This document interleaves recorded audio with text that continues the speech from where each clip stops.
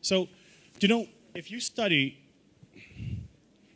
yeah, so if you study people who are at the pinnacle of anything, you recognize that to get there, motivation was maybe 1% of the formula. Maybe. 1%. And I'll prove it to you. If you want to become a world class bodybuilder, say an IFBB pro, what that takes is you have to train twice a day, six days a week.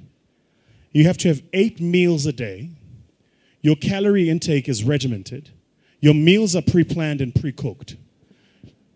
You don't eat according to taste, you eat according to function.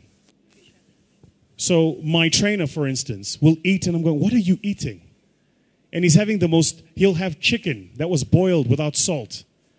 And he'll have like half a kilo of it. I mean, what are you doing?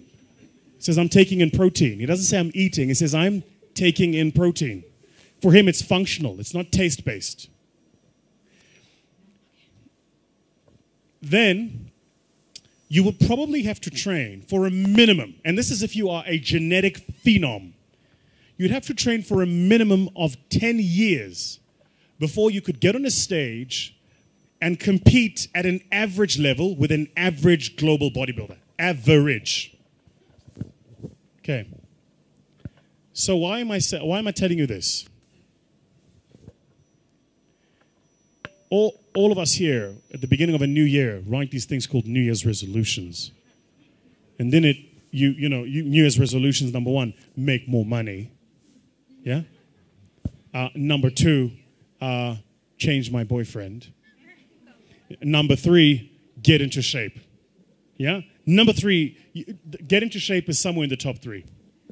So what do you do? You go to the gym, you get a gym membership. Yeah? You buy you go to the local uh, Nike store and you buy like all of your gym gear. You are motivated. You are inspired. You are going to the damn gym. You go to YouTube, you subscribe to all of the fitness channels.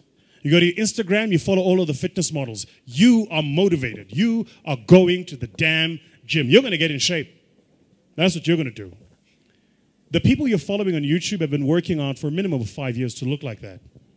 So you have the incorrect understanding that after a month of working out, you're going to look like them. So what happens in the first month? You're excited. You go to gym every single month. You know, and you take the pains and your body is sore, but you know, I'm excited. I'm going to gym. Then life happens. Company doesn't make money. You don't make your targets. You fall a bit ill. Something happens. And all of a sudden, you stop going to gym for a day. A day becomes two, two becomes a week. Now, all of a sudden, you've had a gym membership for three months and you haven't been in that time. What did, what did you miss? You thought motivation was the formula. Winners don't need motivation, winners need discipline. Discipline's about getting it done because it needs to get done, not because I feel like it, not because I'm motivated for it. You think Nelson Mandela was motivated to spend 27 years in prison? You think Martin Luther King was motivated to march across the states and proclaim freedom? You think, you know, if you look at people that change the world, they're not doing it because they're motivated. They're doing it because they made a commitment to do it and they disciplined to see it through. Discipline is far more important than motivation, which is why you got to be careful the decisions you make. Because once you make the decision, you have to see that decision through. Like my mentor says, first we make the decisions, then the decisions make us. So you got to be very careful the decisions you make. Be very careful the commitments you make. Motivation, I'm telling you now, is completely overrated. It's important. Don't get me wrong. You know, we meet according to motivation, we feel good, rah rah but uh, that'll fade.